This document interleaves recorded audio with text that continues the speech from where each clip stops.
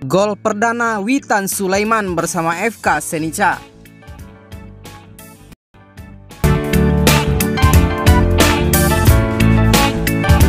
FK Senica melangsungkan laga uji coba kedua musim ini dengan menghadapi tim kasta kedua Liga Polandia. GKS ZZB pada Sabtu 5 Februari 2022 pukul 19 waktu Indonesia bagian Barat.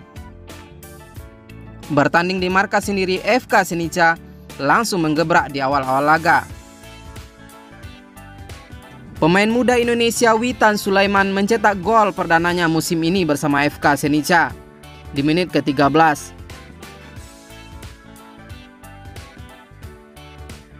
Sontekannya merobek jala GKS Jetsby.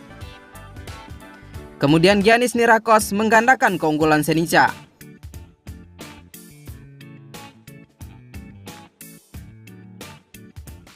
GKS ZZB sebenarnya unggul lebih dulu di menit kelima.